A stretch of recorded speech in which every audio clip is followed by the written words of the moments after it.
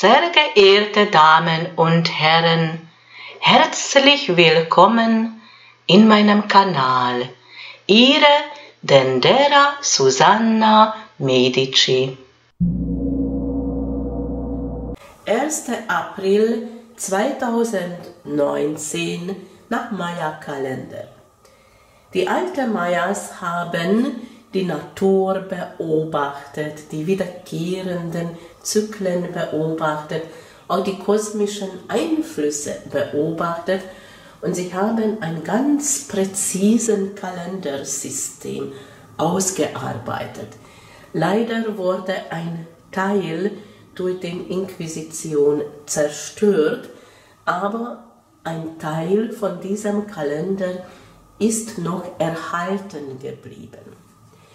Auch wenn für uns etwas fremdartig erscheint, möchte ich diese Kalender näher bringen, weil das entspricht die Tagesqualität. In Mayas gibt es insgesamt 20 Wellen. Diese Wellen bedeuten Frequenzen oder Schwingungen. Wir befinden uns in neunten Welle und das dauert bis 6. April 2019. Hier verspüren wir die Feuerelement, all das, was uns begeistert, das im Tat umsetzen. Aber wir befinden uns in einer Wandlung und das ist die Schlangenkraft oder Kundalini-Energie. Und es gibt zwei Richtungen. Die eine Richtung, was die Energie nach unten zieht und das blockiert. Das löst Gefühle aus wie Angst, Zweifel, Schuldgefühl, weil das blockiert. Wenn wir das aufräumen, wenn wir davon befreien können, dann steigt die Energie nach oben wie Phönix aus der Asche. Das ist eigentlich Skorpion-Thema aber kommt dazu die Feuerelement. Und das erzählt aus, auch die Geschichte von Asklepios, der himmlischen Arzt. Das ist ein Stammbild im Himmel und befindet sich zwischen Skorpion und Schütze. Dann kommt die Skorpion-Energie, diese Wandlung, und die Feuerelement, die Schütze dazu. Asklepios war der Sohn von Sonnengott Apollo, war der himmlische Arzt. Er musste ein Kind retten und heilen. Dieser Kind war der Sohn von König und ist in einen Honigtopf gefallen. Dann kamen zwei Schlangen. Asklepios, dieser himmlische Arzt, heißt auch Schlangenträger. So nennt man diesem Stammbild im Himmel. Also kamen zwei Schlangen. Die eine Schlange trägt den Gift in sich, der anderen Schlange die Heilkräuter. Und Asklepios musste eine wichtige Entscheidung treffen.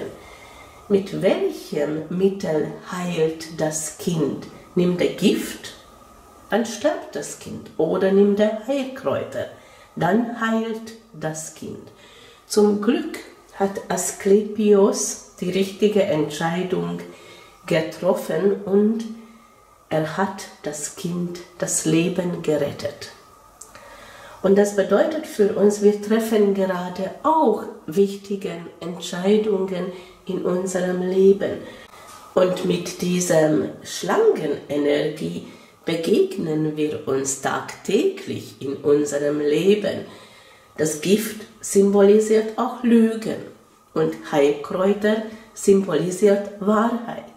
Dass wir diese Unterscheidungsvermögen haben, unterscheiden zu können, was entspricht die Wahrheit und was ist eine Lüge. Wenn wir alles glauben, dann sind wir wie dieses Kind und fallen wir in einen Honigtopf weil eine Lüge ist immer honigsüß verpackt.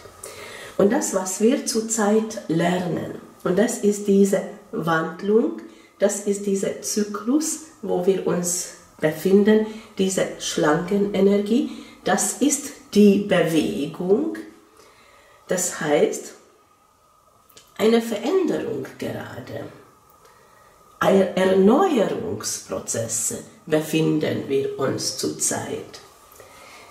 Die heutige Tag ist die achte Tag die neunten Welle und die Mayas haben die Zahl 8 so gezeichnet. Eine Linie, das ist 5 und dann die 3 dazu ergibt sich die Zahl 8. Diese Zahl 8 bedeutet bei den Mayas etwas in Gleichgewicht bringen, etwas in Harmonie bringen, eine schöpferische Kraft und mit dieser schöpferischen Kraft setzen wir etwas im Tat um. Aber wir sollen die Schattenseite auch anschauen. Und genau das ist unser Blick heute.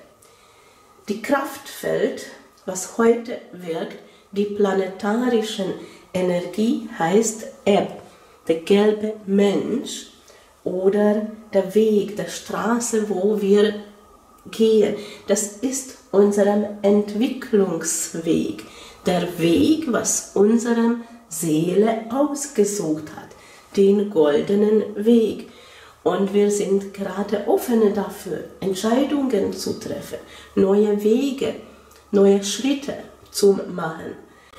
Und wir suchen gerade unseren Weg, unsere Lebensaufgabe. Die heutigen Mondenergie, was unseren Gefühlen wirkt und beeinflusst unsere Emotionen, ist Esnab. Dieses Bild, Esnab bedeutet übersetzt weiße Spiegel. Und das heißt, heute spiegelt sich etwas in unserem Leben und es klärt sich etwas auf. Wir bekommen Erkenntnisse, weil wir durchtrennen den Schleier. Die beiden Halbedelsteine, was uns heute unterstützen, ist Bernstein, hat mit Tierkreis einen Löwe oder mit Feuerelement etwas zu tun und Obsidian. Und Obsidian unterstützt uns die inneren Gleichgewicht finden, so wie die Zahl 8 auch zeigt, die inneren Gleichgewicht, die Harmonie zum Finden. Und das war diese Information aus dem Maya-Kalender für 1. April 2019. Ich bedanke mich für das Zuschauen. Mein Name ist Tendera Susanna Medici.